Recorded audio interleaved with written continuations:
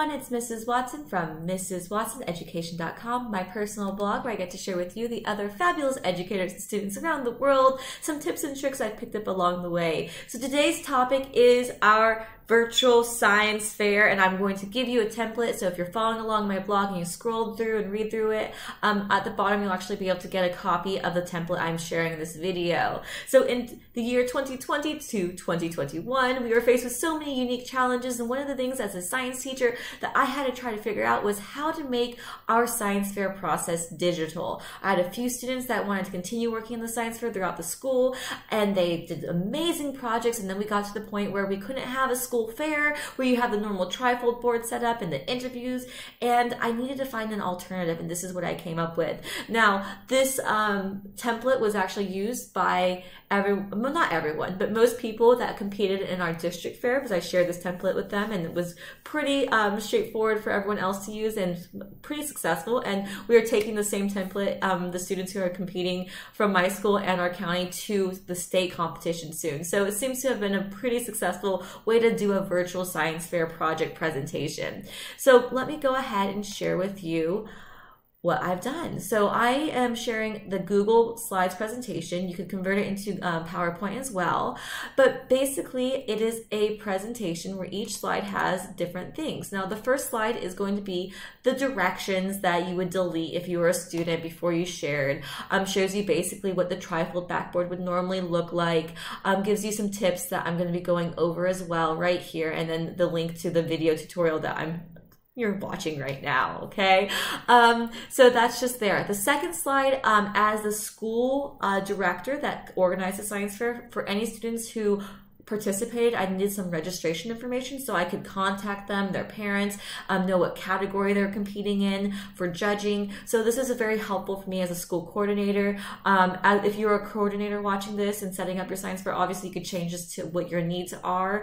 Um, if you're a student watching this and your teachers don't need it, just get rid of it, okay? And then the third slide is going to be where you have your trifold backboard, but you know don't have to glue and paint, um, glue things in and all that stuff that you normally would do for a traditional board, it's all digital. And it looks this is the way it looks. It looks exactly like it would normally look with the same setup. Um, the great thing about this is that it's completely customizable. So you can click on the different fields and just like you would on a PowerPoint presentation, change that to the color you want for your scheme. Um, try to make it, you know, visually appealing. Um, you might be able to change the font a little bit. I would not, however, change the sizing of the font because I have it very specific. So most of the time when you copy and paste your work into these fields, it would or should fit.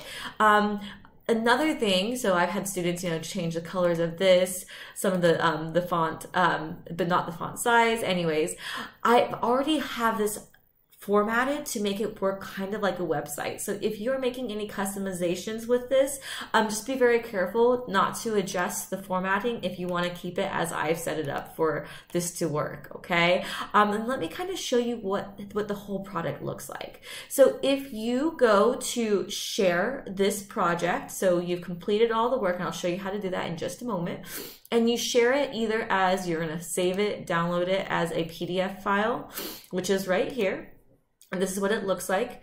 Or you share it in um, preview mode, which is this way. Which, so it's the same thing, just this is a PDF and this is a document, um, a slides presentation. What you are able to do is as you are going through, and so a judge is looking at your board, if they can't read the specific pieces, um, they could just click through and it will go to the slide where all that information will be bigger.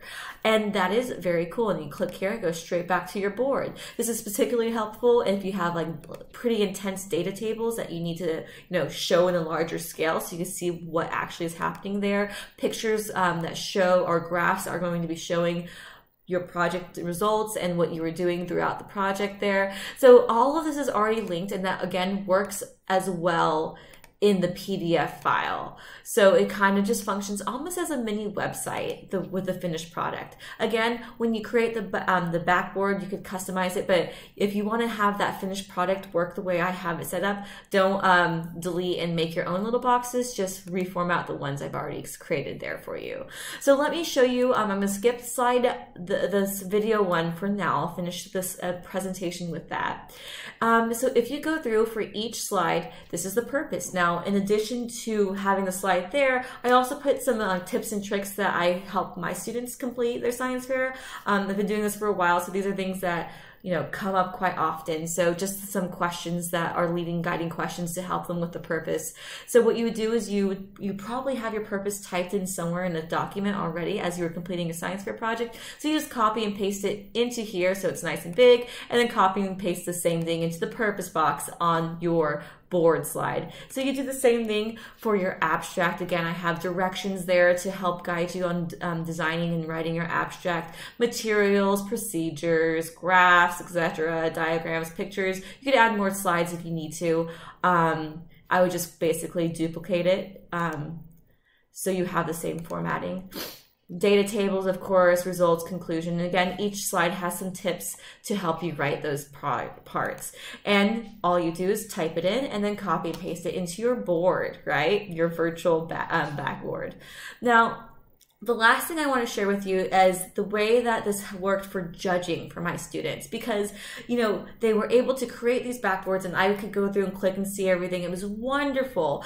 But part of the judging at the science fair process is where you get to share what you did with people, experts in their field, um, different people from around the, the city, county, state, if you're uh, depending on what level you get to.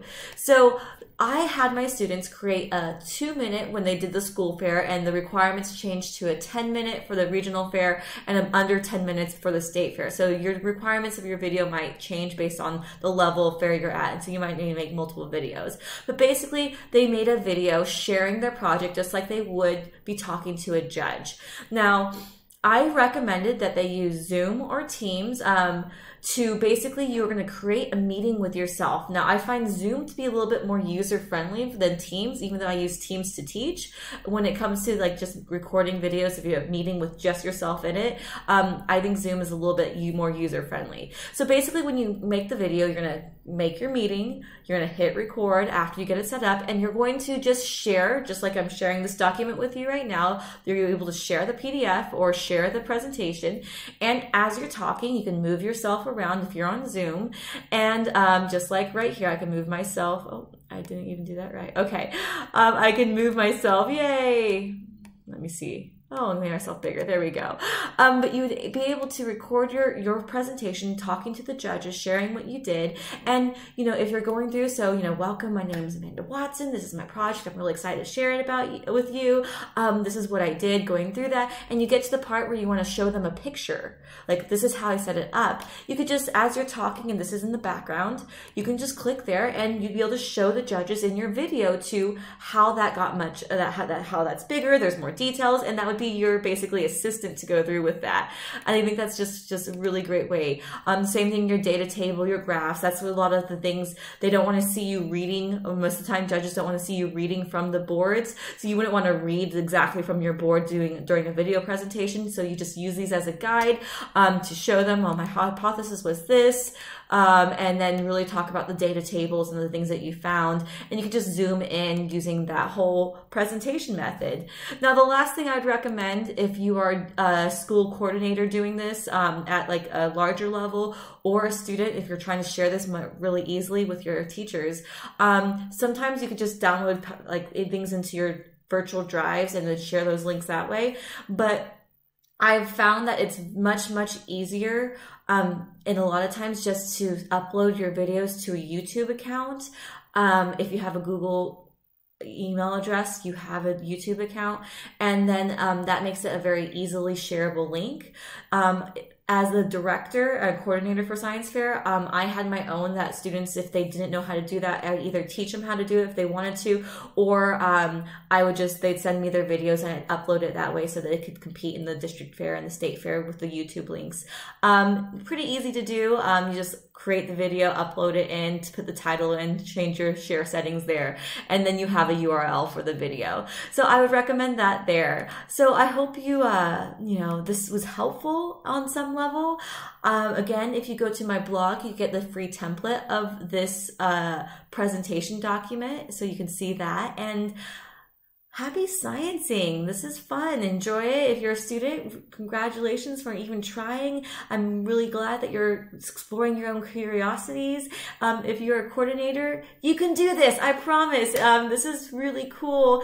And hopefully we'll go back to the crazy big fairs with all the boards and all the judges in the future. But this is a really nice alternative. I'm not going to lie. I really like not having a hundred boards in my classroom to grade and look at. I just have everything digitally and it's nice and easy to read So um, hopefully this helps out. Enjoy and thank you for watching. Don't feel free to um, subscribe, link all the stuff, all the social media things if you want to see any of my other posts as well. Okay, bye.